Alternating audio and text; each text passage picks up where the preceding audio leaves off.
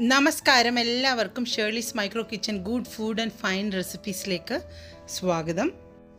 ഇന്ന് വളരെ സ്പെഷ്യൽ ആയിട്ടുള്ളൊരു മെഴുക്കുപുരട്ടിയാണ് നമ്മൾ ഉണ്ടാക്കുന്നത്.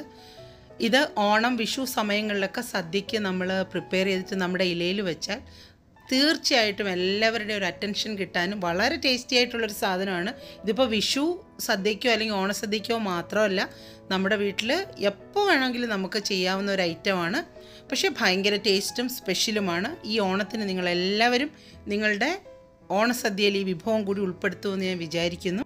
അപ്പോൾ എങ്ങനെയാണ് കാഷ്യൂനട്ട് മെഴുക്കുപുരട്ടി പ്രിപ്പയർ ചെയ്യുന്നത് നമുക്ക് നോക്കാം. അതിനുവേണ്ടി നമുക്ക് വേണ്ടത് കാഷ്യൂനട്ടാണ് ഇത് സാധാരണ നമ്മുടെ അണ്ടിപ്പരിപ്പാണ് ഡ്രൈ അണ്ടിപ്പരിപ്പാണ്. അപ്പം നമുക്കിതൊന്ന് ചെറുതായിട്ട് കുതിർത്തെടുക്കണം. എന്നാൽ മാത്രമേ നമുക്ക് ആ മെഴുക്ക് പുരട്ടി ഉണ്ടാക്കുമ്പോൾ ആ ഒരു ചെറിയൊരു സോഫ്റ്റ്നെസ് കിട്ടുള്ളൂ അതിന് വേണ്ടിയിട്ട് ഞാൻ കുറച്ച് ചൂടുവെള്ളമാണ് ഇതിലേക്ക് ഒഴിക്കുന്നത്. ഒരു ചൂടുവെള്ളത്തിലൊരു ഇരുപത് മിനിറ്റൊക്കെ ഇതൊന്ന് ജസ്റ്റ് ഒന്ന് നമുക്ക് സോക്ക് ചെയ്ത് വെക്കാം. അപ്പോൾ സോക്ക് ചെയ്യുന്നതിന് മുമ്പ് നമുക്കൊരു ഇച്ചിരി ഉപ്പും കൂടി അതിന്റെ അകത്ത് ഇട്ട് കൊടുക്കും. ചെറുതായിട്ടൊന്ന് കുതിർന്ന് വരാൻ വേണ്ടിയിട്ട് ഒരു ഇരുപത് മിനിറ്റ് നമുക്കിതൊന്ന് മാറ്റി വെക്കാം. ഇനി നമ്മൾ ഇതിലേക്ക് ഒരു രണ്ട് പച്ചമുളകും ഒരു വലിയ സവാളയുടെ പകുതി മാത്രമേ ചേർക്കുന്നുള്ളൂ. ഒരുപാട് ഉള്ളിയൊന്നും ഇതിനാവശ്യമില്ല. ഉള്ളി നല്ലതുപോലെ നമുക്കൊന്ന് കനം കുറച്ച് കട്ട് ചെയ്തെടുക്കാം. സോക്ക് ചെയ്ത് വെച്ചിരിക്കുന്ന കാഷ്യൂനട്ടും ഇതുപോലെ രണ്ട് പീസായിട്ട് നമ്മൾ എടുത്തു വെക്കണം.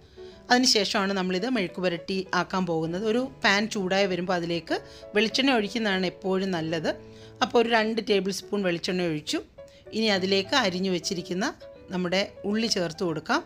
അതിന്റെ ഒപ്പം തന്നെ നമുക്ക് നമ്മുടെ അരിഞ്ഞു വെച്ചിരിക്കുന്ന പച്ചമുളകും ചേർത്ത് നല്ലതുപോലെ ഒരു മീഡിയം തീയിലൊന്ന് വഴറ്റിയെടുക്കാം. ഒരുപാട് ബ്രൗൺ കളറൊന്നും ആവണ്ട. എന്നാൽ ഉള്ളി ഒന്ന് വഴന്ന് വരികയും വേണം. മെഴുക്ക് പുരട്ടിക്ക് ഒരു ചെറിയ കളറൊക്കെ കിട്ടാൻ വേണ്ടി ഒരു കാൽ ടീസ്പൂൺ മഞ്ഞൾപ്പൊടിയും കൂടെ നമുക്ക് ചേർത്ത് കൊടുക്കാം. ഉള്ളിയൊക്കെ ഇപ്പോൾ ആവശ്യത്തിന് വഴന്ന് വന്നിട്ടുണ്ട്.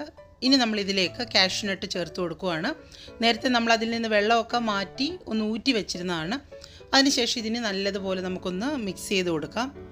ഇത് ഓൾറെഡി നമ്മൾ സോക്ക് ചെയ്ത് വെച്ചിരിക്കുന്നതായതുകൊണ്ട് തന്നെ ഒരുപാട് കുക്കിംഗ് ടൈം ഒന്നും ഇനി ഇതിലില്ല.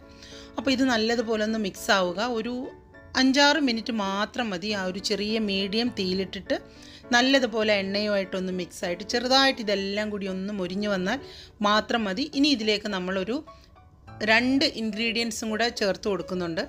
അത് നിർബന്ധമില്ല. എന്നാലും അത് ചേർത്താൽ കുറച്ചും കൂടെ ഒരു ടേസ്റ്റ് ആയിരിക്കും അത്രയേ ഉള്ളൂ. നമ്മളിത് ആദ്യം സോക്ക് ചെയ്ത് വെച്ചപ്പം കുറച്ചൊരു ഉപ്പ് ചേർത്തിരുന്നു. അപ്പോൾ ചെറിയൊരു ഉപ്പ് നമ്മുടെ കാഷ്നട്ട്സിന് ഉണ്ടാവും. പക്ഷേ എന്നാലും കുറച്ചും കൂടെ ആവശ്യമുണ്ട്. അപ്പം ഒരു രണ്ട് നുള്ളുപ്പും കൂടെ ഇപ്പോൾ ചേർത്ത് കൊടുക്കുകയാണ് ഉപ്പ് ചേർക്കുമ്പോൾ എപ്പോഴും ശ്രദ്ധിക്കണം. ഏത് മെഴുക്കുപുരട്ടിയാണെങ്കിലും ഉപ്പ് കൂടിപ്പോയാൽ നമുക്ക് പിന്നെ ഒന്നും ചെയ്യാൻ പറ്റില്ല. ഇനി നമ്മളിതിലേക്ക് കുറച്ച് ഫ്രഷായ കറിവേപ്പിലയും കൂടെ ചേർത്ത് കൊടുക്കാം. അപ്പോൾ നമ്മളിനി ഇതൊന്ന് വഴറ്റി കഴിയുമ്പോൾ ഈ കറിവേപ്പിലയൊക്കെ ഒന്ന് മൂത്ത് വന്നാൽ നമ്മുടെ ആ ഒരു പാകമായെന്ന് നമുക്ക് ഉറപ്പിക്കാം.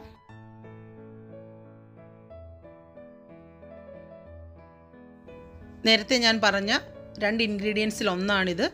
അതായത് കുരുമുളക് പൊടി. വളരെ കുറച്ച് ഒരു കാൽ ടീസ്പൂണിന് താഴെ മാത്രം മതി. ഒരുപാടൊന്നും ആവശ്യമില്ല.